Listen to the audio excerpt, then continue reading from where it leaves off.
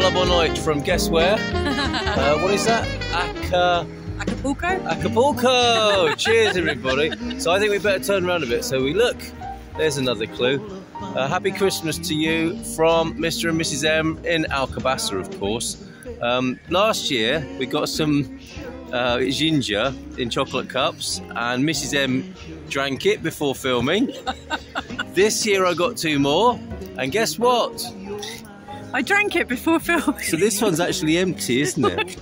so do I do I share this one? yes. With Mrs. M? Do Yeah, I share yeah. it? Okay, I'll have a little sip and then give it to you. Okay. So happy Christmas! Thank you very much, Gumpers, uh, for give, sharing yourselves with us this year and being with us as part of the Good Morning Portugal community. And we'll see you back on Good Morning Portugal on the first of January, Monday, the first of January, for an awesome New Year. Yeah. Uh, the- for the summer of love, actually a whole year of love of 2024 next year. So have a great year, Mrs. M. You got a message? Just, just keep being happy. Just love life, right? And do you want a, a Yes, I drink another? yeah. Okay, Is it all right if I have a little sip? Yeah, of course. Okay. Mm. That's the ginger. You you have the rest of that, and I'll have the empty cup, shall I? You're Take driving. that. Take the whole Yeah. thing. Yeah. Yeah. There she goes. Last last year, I was dribbling this down my face. You were. That's right.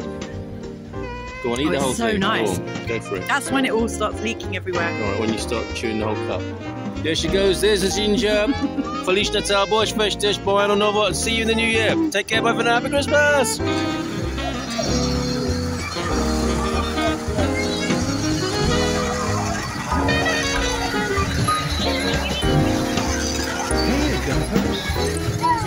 Christmas.